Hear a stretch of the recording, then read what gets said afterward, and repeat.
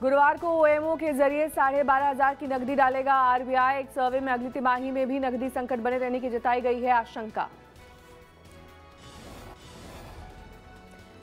5G trials के लिए सरकार से मांगी सीओएआई ने मदद। टेलीकॉम विभाग से कहा 5G को बढ़ावा देने के लिए वित्तीय मदद और सब्सिडी दी जाए। भारतीय कारोबारियों की आमदनी में अगले 12 से 14 महीनों में आएगी गिरावट। एसएनपी ग्लोबल रेटिंग से जताई आशंका।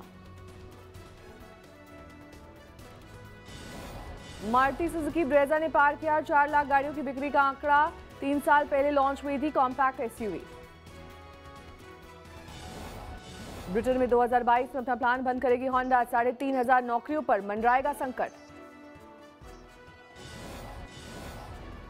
अगले साल एक्सयूवी 300 का इलेक्ट्रिक वर्जन लॉन्च करेगी महिंद्रा एंड महिंद्रा। इस साल लॉन्च होगा ऑटोमेटिक वेरिएंट हीरो मोटोकॉप ने अपनी 125 सीसी से कम बाइक्स में लगाया इंटीग्रेटेड ब्रेकिंग सिस्टम दो हज़ार रुपए महँगी हुई बाइक मंगलवार से अमेरिका और चीन के बीच व्यापार वार्ता फिर होगी शुरू। व्हाइट हाउस ने दी वॉशिंगटन में बातचीत शुरू होने की जानकारी।